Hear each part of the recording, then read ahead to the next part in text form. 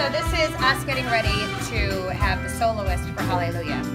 So I'm going to have the choir sing, so this will be a practice for you to practice over.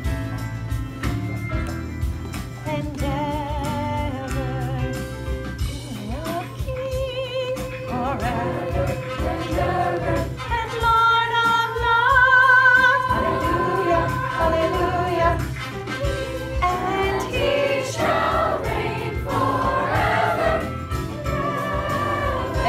over here. King of kings. Boys in your up. And Lord of lords. Listen, boys. King of kings. Here we go.